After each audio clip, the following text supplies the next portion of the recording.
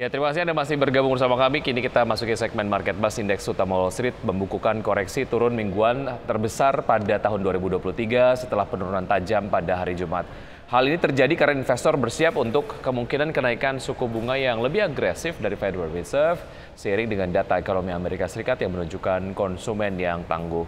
Dan untuk indeks blue chip Dow Jones Industrial Average koreksi turun 3 persen adalah penurunan mingguan terbesar sejak September.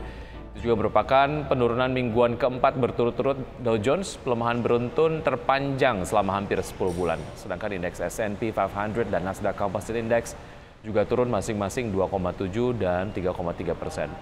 Setelah Januari yang kuat saham di Wall Street telah mundur di Februari ini karena banyaknya data ekonomi yang memperkuat kekhawatiran bahwa Bank Sentral Amerika Serikat mungkin harus mempertahankan suku bunga lebih tinggi lebih lama.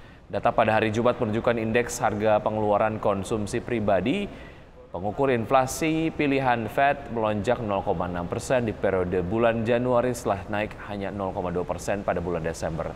Pengeluaran konsumen yang menyumbang lebih dari 2 per 3 aktivitas ekonomi Amerika Serikat melonjak 1,8 persen bulan lalu, melebihi perkiraan kenaikan 1,3 persen. 9 dari 11 sektor dalam indeks S&P 500 jatuh sektor real estate, teknologi, dan konsumen discretionary mengalami penurunan terbesar. Layanan komunikasi turun 1,4 persen menjadi kerugian ke-6 berturut-turut penurunan terburuk sejak penurunan 6 sesi serupa pada bulan Agustus.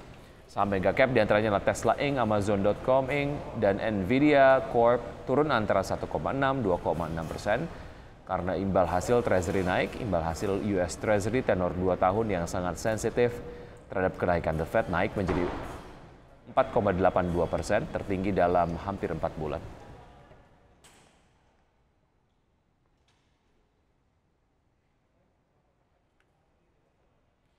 Dan berikut adalah data penutupan bursa global serta update komoditas dan valuta asing selengkapnya. Pada hari Jumat, Dow Jones Industrial Average turun 336 poin atau 1,02 persen menjadi 32.816. Indeks S&P kehilangan 1,05 persen menjadi 3.970 dan indeks Nasdaq Composite turun 1,69 persen menjadi 11.394.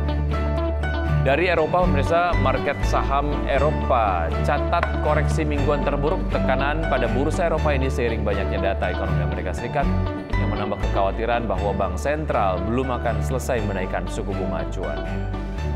Bursa Jerman, indeks DAX turun 1,72 persen ke level 15.209. FTSE 100 Inggris drop 0,37 persen ke level 7.878 dan indeks CIC Prancis turun 1,78 persen ke level 7.187. Pergerakan IHSG di pekan lalu pemirsa.